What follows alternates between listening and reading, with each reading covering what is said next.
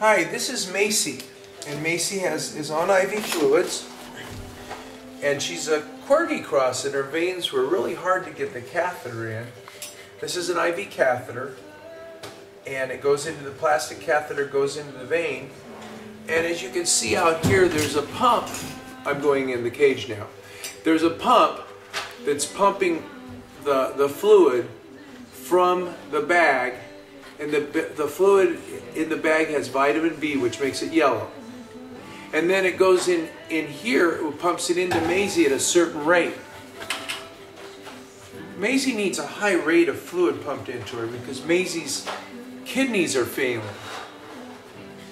Maisie uh, uh, came in about two days ago and she was vomiting and feeling very badly. And uh, we did a blood test and her kidneys were failing. We did a urine test, and the urine showed some blood.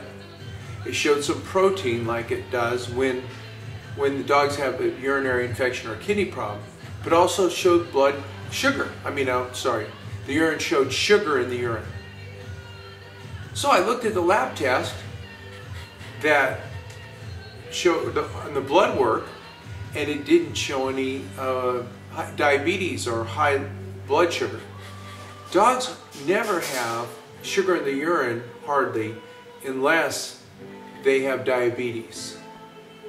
So as you saw, Macy came in vomiting uh, when I did the uh, check of her blood work. You can see her, she's got a low blood red blood cell count. She's a little anemic and her kidney enzymes which is her BUN, which is a measure of her kidney, is very high. And you can see that by the little arrow. It's off the scale. Her creatinine couldn't even measure, it was so high.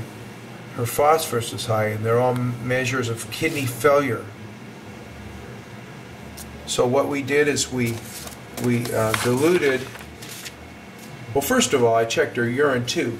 There's sugar in her urine. She's not diabetic. I'll show you that in a minute.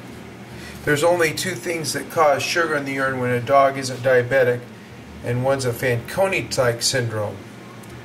If they have a normal blood glucose, blood sugar, but they spill sugar in the urine. It could be genetic. Some dogs are predisposed to this, like Basenji's, or it can be treats made in China with additives that cause the problems. So we just put fluids just as much as we could as you saw and today uh, her, her, her kidney enzyme is gone from in the 2 to 300s to 180 and her creatinine is inched down to 5.8 so we're just going to keep giving Macy fluids until we can see until we see if her kidneys start to work. You can see all the blood work it takes, but uh, there's her blood glucose, and she's not diabetic. You can see it's in the normal range, but she's spilling sugar in her urine. So that's what I was talking about, the Fanconi syndrome. So that's caused by uh, a genetic problem, or it can be caused from treats be careful. It's there's certain breeds that get it. Corgis aren't really well represented as having Fanconi syndrome. So what what happens is, and you've all seen the recalls, there's certain treats that will cause this, and never pay attention to the package. It says 100% real, wholesome, and delicious chicken jerky, no artificial flavors or colors. So the package can look wonderful. The chicken can look great. It can smell great. It could, I'd eat it. It could taste great. It's just dried chicken. But on the back, it all looks good, but it has a real tiny, tiny um, sentence right in, made in China.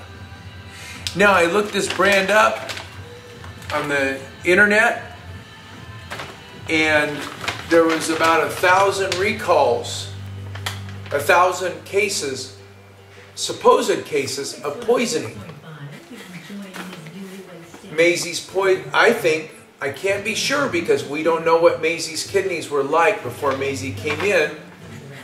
But the owner says just over the past few days after feeding chicken jerky treats, Maisie became very ill and is in now in kidney failure. She has sugar in her urine, which is like what we call Fanconi syndrome, but in this case, is may not be a syndrome, may be a caused from the additives that they put in to the chicken jerky or the sprays that they put in when they when they uh, made it in China. Do not buy treats made in China. Don't buy treats with wheat in them for your dogs because a lot of times that can cause itchy skin and itchy ears and even seizures. Treats are just something you give your dog between meals. You can give him chicken, you can give him a turkey hot dog, you can give them a chicken hot dog, you can give them a carrot, you can give them a meaty bone, you can give them pieces of their kibble, you can give them a sardine. But in this day and age, when we are all victims and we're all prisoners of processed food, be careful because it doesn't matter that this has thousands of cases potentially reported, and I can't prove that this is the cause. But what I do know is Macy ate some of these and is very sick and has a syndrome that doesn't ever happen unless she is predisposed to this genetic condition or these treats that she's been fed. So you make the decision what you're going to do with your dog and feeding it treats you better make sure that the treats you feed aren't made in China, don't have a lot of wheat in them and processed stuff in it. Try, buy a better quality uh, USA made treat without grains. Maybe with chicken and vegetables, maybe with the chicken and rice, turkey and rice. There's all kinds of good treats you can buy. There's a lot of homemade treats on the internet now that are made by smaller companies that are trying to provide a real quality treat.